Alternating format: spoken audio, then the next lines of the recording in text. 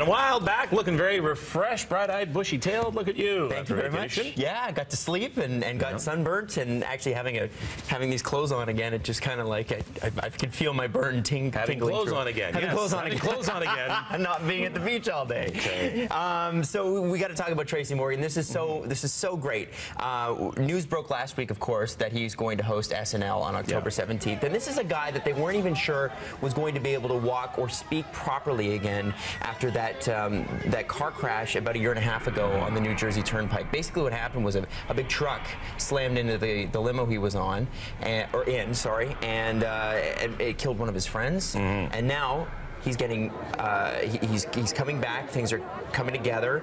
Uh, he's he's going to obviously host SNL on October 17th, and he got married this weekend. Yeah. And he's able to walk around and sit and talk, but he had to relearn how to sit. Isn't that amazing? Walk. It's amazing. Yeah. Amazing that uh, anybody that goes through that, it's always to me incredible because learning anything new as an adult Yeah. is is really really hard. Uh, so this it'll be it's amazing to see and it'll be amazing to watch in October. Yeah. Uh, Kevin, I know that you're a huge fan of Twitter.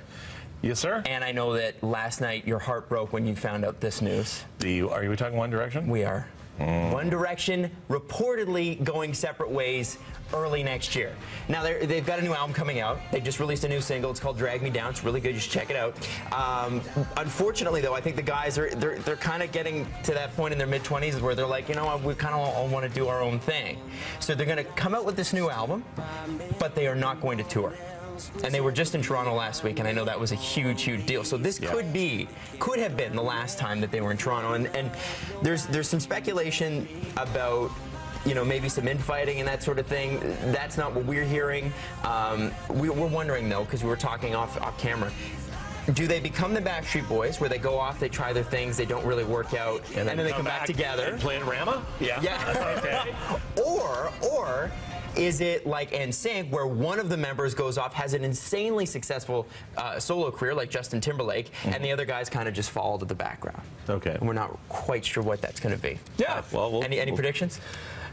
I'm my I'm not tuned in to the One Direction uh, uh, vibe, so I, I don't know. Okay, that, that's probably actually for the best because they come after you on Twitter if you if you made any. Yeah, predictions. Um, w- a couple more things. Uh, last night we had the uh, wrap party here in Toronto for Suicide Squad, Mm-hmm. and it happened at uh, the Ballroom Bowl, uh, which I don't know if you've ever been. It's so so much fun. You get bowling downtown, and it's fun and it's glitzy and it's old old school. There's lots of pictures on Instagram about it. Um, obviously, uh, they've been shooting for months here, Yeah. all summer. And it just seems like it's going to be one of the coolest, coolest movies of 2016. And we'll see lots and lots of Toronto in it. And it's funny, in a lot of the teaser trailers, you can actually see so much of Yonge and Dundas that you go you, right down to the ads. Like, they don't even blur those out. Yeah. It's, it's, it's so much fun. Uh, and lastly, Rachel McAdams. Spotted at the Ex yesterday with the Ex's president. His name is Brian Ashton, and she said she has an absolute love for, for the Ex. So she was just walking around. she she's out and about a lot. We always see stories of Rachel McAdams over here and over there. and, Yeah. You know, good for her for She just just seems- why not? Yeah, easy to get along with. Easy. To, and she's not like she's not pretentious. She doesn't have the the oh I need to be surrounded by bodyguards. I need to be seen. She's just there. She's taking some pictures on an iPhone. No, no big deal. Uh, at the movies this weekend, uh, we had uh, Straight Outta Compton again on top. I don't know. I, I don't think people realized how well this was going to do. I again, it was one of those. It's a it was a bubbling under the surface. There's Yeah. a huge fan base for NWA still, huge, and, and there's so much of a story there that I think it's drawing more and more people, and people are going to see and going, you got to see this movie. And you don't even have to have an appreciation for NWA to go see this movie, from what I've been told. No. just just go. Great story about um, music. And Mission Impossible. However, what I'm hearing is that movie going again this weekend was down significantly over the same time last year. I think it was down like off like seven, eight percent. It's a lot. compared to last year. Are people going to the movies less? Was it just nice weather for the most part across most of North America? Uh, are people just sort of they can get their movie options pretty well anywhere else?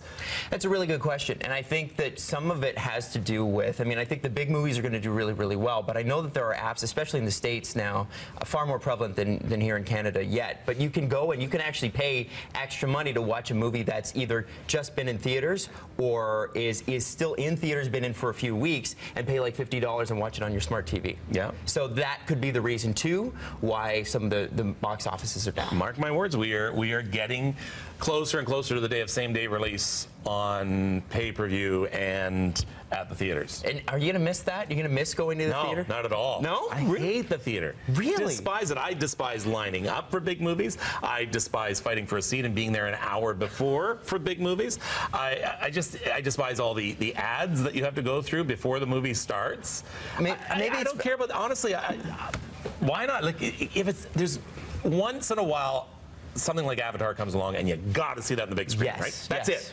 That's the last movie I remember really needing to see on the big screen. I guess I just love the, the romanticism of it. I love going out and I love, you know, you, you're getting popcorn and you're hanging out in it's in a place that's not your own Yes, home. I- it I- gets you out of the house. I love paying $25 for popcorn and a pop. I think there's nothing better than that. Yeah, you got to mortgage your house to get it, but it's really good when you do get it. It's pretty bad when you're, and I remember, I remember as a kid, we didn't spend more on food than we did at the on the movie itself. Right. So- yeah, and that's I, you know, I think same day release. now. I think actually it'll be good for the movie industry as well. I think they'll make a gajillion dollars. Or I think they'd be surprised how much they'll make on same day releases. that's true. Movie theaters are not liking this much right. I'm not talking about your your 5.99 rental on on uh, Shomi or, No. or on on, on uh, iTunes. I'm talking about you'd probably have to pay 20 30 dollars for it. Absolutely, because it's a new movie and the demand's there. And you can sit in the comfort of your home and watch it. I like it. I, do, I do like it. I, st- I still would miss going to like the theaters at Yonge and Dundas. You can still go. I'll be there by You know, myself. I, I, uh, and I, I can see a day where we won't be going to theaters. I, I, I can see that coming. I hate to say it, but I agree with you. Yeah. All right. He never agrees with me. Uh, 644 on BT. We'll be back right after this. So raise your